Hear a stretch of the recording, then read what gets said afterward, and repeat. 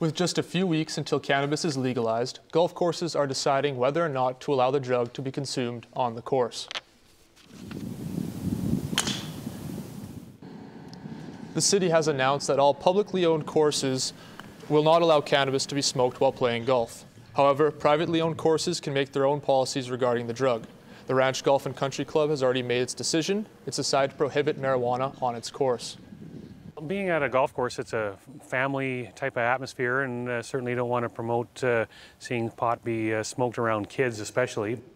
Even though cannabis isn't allowed on the course, McCourt said the club won't be policing its use unless a complaint is brought forward.